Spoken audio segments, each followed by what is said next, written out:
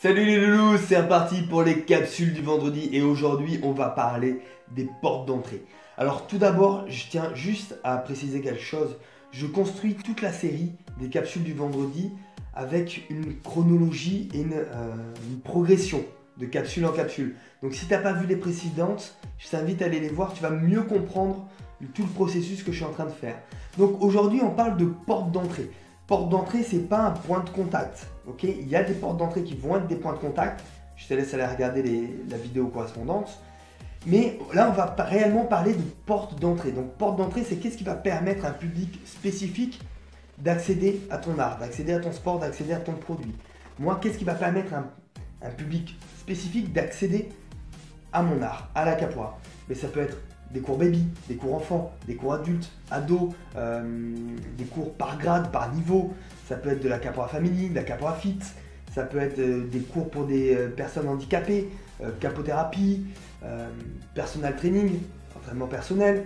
il y, a plein de choses. Ça peut être des stages, des initiations, des démonstrations.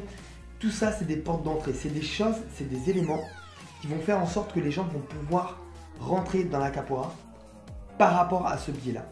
Et il faut travailler ça. C'est-à-dire qu'il faut avoir conscience que on a une porte d'entrée et qu'il faut faciliter. Si on a une porte d'entrée mais qui est fermée à double tour, les gens ne vont pas pouvoir accéder.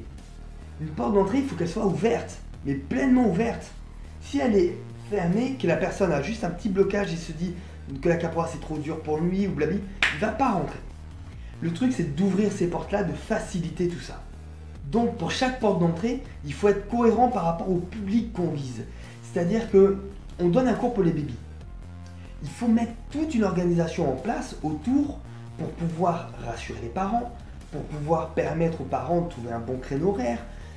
Il y a plein de choses, je ne vais pas rentrer dans les détails, c'est juste le concept que j'ai envie que tu, tu saisisses. Pareil pour les cours des enfants, le cours des adultes, exactement la même chose. Facilite au maximum la porte d'entrée. C'est-à-dire réfléchis à tout ce qui va avoir autour, qui va permettre au public visé d'être complètement bien serein et qui va pouvoir entrer et franchir la porte tranquillement, avec envie et envie d'y rester. Le truc qui est intéressant, c'est d'avoir plusieurs portes d'entrée. Bien sûr, si tu n'as pas envie de donner des cours enfants, ne donne pas des cours enfants. Mais dans ce cas-là, il faut que tu sois conscient que le public visé sera restreint et dans ce cas-là, il va falloir que tu optimises encore plus l'accessibilité à ce public-là. Mais dans l'idéal, c'est d'augmenter toutes tes portes d'entrée. Car personne ne parle la même langue.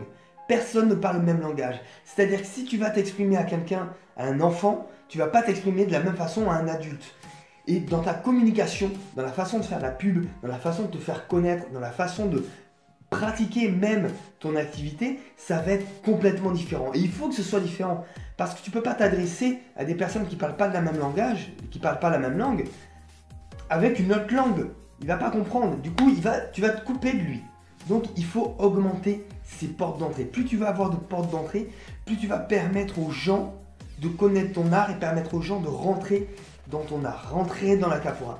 Et ensuite, ton travail va être justement, une fois qu'ils ont franchi la porte d'entrée, de pouvoir les conserver, de pouvoir construire quelque chose avec eux. Et là, on repart sur les vidéos précédentes, l'apport de valeur. L'apport de valeur, l'apport de valeur, c'est vraiment ça qui va te permettre de fédérer les élèves autour de toi et de pouvoir construire quelque chose sur du long terme.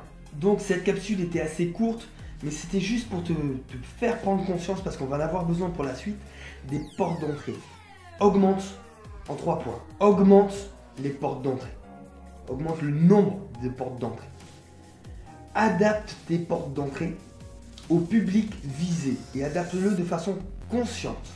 Et troisième point, garde à l'esprit que tout est porte d'entrée. C'est-à-dire que ton comportement est une porte d'entrée. Quand tu vas euh, te présenter, par exemple, pour avoir un sponsor, ou quand tu vas te présenter, je sais pas, à la mairie pour avoir une salle, c'est une porte d'entrée. Tu vas afficher ton travail. Tu vas, c'est une porte d'entrée parce que la personne peut être intéressée pour venir à tes cours. Et c'est là où il va falloir vraiment travailler toutes tes portes d'entrée.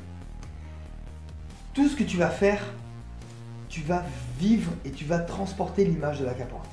Donc sois conscient, travaille ça et je te jure que tu vas avoir des résultats puissants grâce à ça.